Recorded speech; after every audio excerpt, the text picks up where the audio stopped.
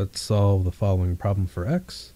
So there's a couple things I could do. I could cross multiply, or I could do a least common denominator. And to tell you the truth, I think cross multiplying is going to be easier. So we'll do 1 times quantity x minus 4, or 8x minus 4, is equal to 4 times quantity um, 2x minus 1.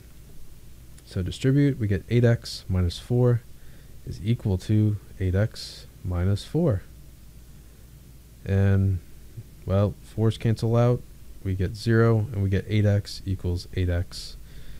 Divide through by 8x, we get 1 equals 1.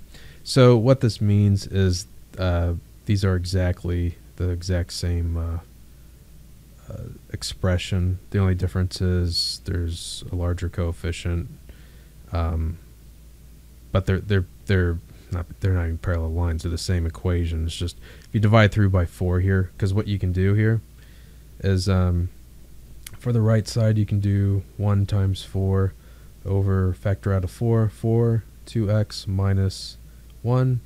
Fours cancel out, and then you got your one over two x minus one. So anyway, um,